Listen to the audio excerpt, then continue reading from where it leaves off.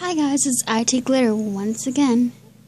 This week I'm going to show you how to make a bow tie out of duct tape.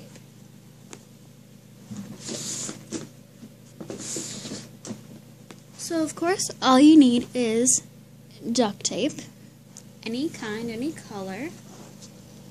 I either have hearts or this cute one that has like internet lingo all over it. I think that's what it's called. I don't know. And so yeah, let's get started. So first you're going to, of course, take your duct tape and just tear off however long you want your bow tie to be.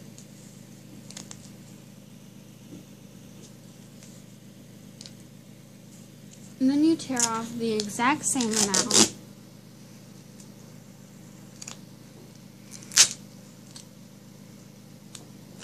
And then you stick them together like this.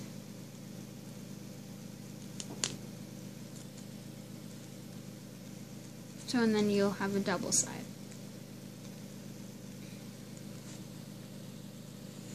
Then you're going to fold it like an accordion. So first, let me turn on the light. Alright.